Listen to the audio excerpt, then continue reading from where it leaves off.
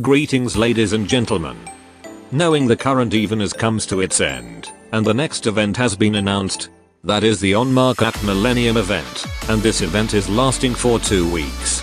This event introducing new to regular student, Noa and Utaha cheer squad. Also, you can obtain Hibiki cheer squad through the event as welfare student. First, let's talk about the event stages and feature. The better way to farm event currency are on these quest stages. For the event shop, only buy what is seems to be necessary to you. There's milestone rewards after reaching certain point, and max rewards from point milestone is 15k point. The event point can be used or exchanged into this feature. And it work the same like lesson feature, but cost you event point, and rewards you artifact. Hibiki Cheer Squad's Eleph. For Eligma and selected student's Eleph has very low chances to obtain them. And this feature was a great opportunity to obtain Wolf's eggs as much as you want. Also, the higher the stadium level is, the better artifact rarity you can get. Maximum stadium level is level 5, and there will be 100% chance to drop tier 1 to tier 3 artifact, and Hibiki Cheer Squad's Eleph. Let's talk about Hibiki Cheer Squad, the welfare student from the event, and how necessary she is to you. Hibiki Cheer Squad are appear as striker area damage dealer, explosive as her attack type, and light as her defense. Moving to her skills, her X skill, she deal area damage with incredible area, and inflict burn damage that lasting almost forever. But her drawback from this skill R comes with massive X skill cost, making it quite complicated to activating her X skill. And you'll need a student with X skill cost cut ability, or X skill regeneration to tame this massive X skill cost. Although if you have some student that I've mentioned, it is not necessary to build Hibiki Cheer Squad at the moment. Unless if you're lacking a area dealer just to clear this raid boss on insane difficulty. Sure she can help you to clear that difficulty, but keep in mind, she doesn't help you to get platinum.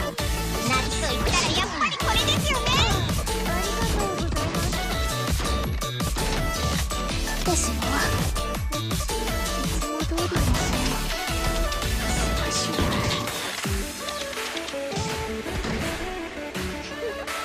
準備は万全ですからそれはどうなるのかやりすぎちゃったかな Her basic skill. Increase attack to 1 ally and herself with moderate amount lasting half minute. 22% sound not even that high, but for her, it mean a lot since she has very high attack stats. Her enhanced skill. Increase attack that more than average, but the cost is reducing her critical damage. Either good or bad. I actually don't really know about this stats trading. And her sub skill. Additional damage every time she damage an enemy. If the enemy is close or further, the additional damage either get reduced or increased by 0.5 or 2 times. In other words, if the enemy is near, then the additional damage will only deal 1.7% to 3.2% than what it written. And if the enemy is further, her additional damage will deal 6.8% to 12.8% damage. Sound very confusing but she is not the student that you should think about, since she isn't necessary to build anyways. If you try to build her just for regular stages, there's another drawback as well from her basic attack.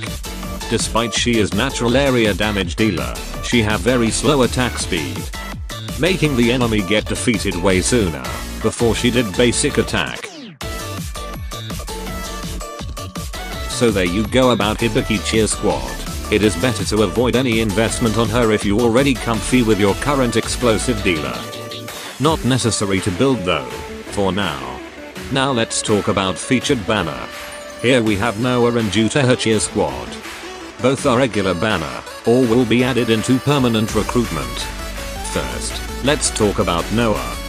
Noa appear as striker support debuffer, special as her defense. Not necessary to talk about her attack type and terrain suitability. Supporter are universal in term of usages until become unusable. Moving on to her skills. Her X skill. Apply focused fire to one enemy. and decrease their defense by moderate amount last 40 seconds. She is just like another version of Akane that appear with different defense type. Also has higher debuff defense ratio than Akane but costing one more than her. Sure, you'll find her nothing interesting on the first released until Goz Raid boss and Torment difficulty is released. Her basic skill is just very basic skill. Deal damage to one enemy.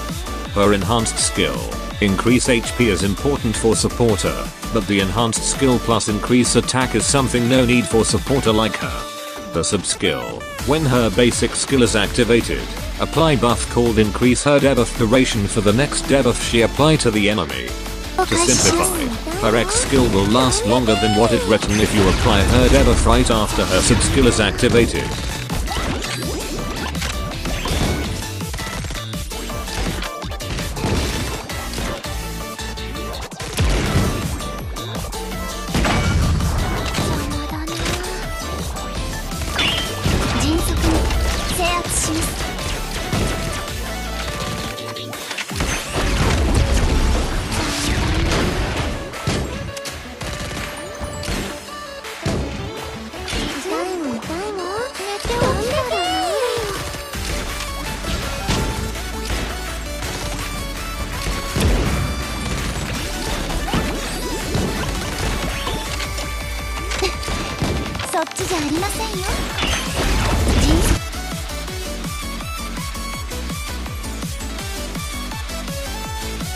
And that's it about Noa. Is it necessary to pull her? Probably no. If you're beginner casual and semi-competitive. Having her or not doesn't make you a huge impact to your gameplay, unless if you're a truly expert player. Expert player find her useful on Goz and Hieronymus, Insane and Torment difficulty. And the other student are Utaha cheer squad. Appear as strike a single damage dealer, Mystic as her attack type, and Special as her defense type. Moving to her skills her X skill, enhanced her sentry and her basic attack will deal 146% of damage.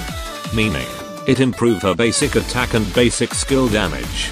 Additionally, the requirement to activated her basic skill is changed from active every 30 seconds into active every 6 basic attack. Which her basic skill are become spammable. The duration from her X skill is very long. So you don't need to worry about spamming her X skill. Just once or twice is enough. When her turret is enhanced, her basic skill activation requirement changed into every 6 basic attack. If we talk about seconds, she need around 20 seconds to cast basic skill, but you can make it even faster by unlocking her enhanced skill plus.